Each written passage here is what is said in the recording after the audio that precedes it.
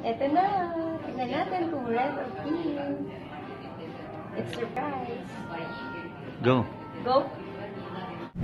Eto na, this is it. Malalaman na ninyo kung sino ang nanalo. Kung si Pink o si Red. Na Nia Noe. Eto, ikaw, ano bang napili mo? Pink, pink sa akin. Eto, Pink ang napili niya eh. Let's see. Let's see if it's pink or red.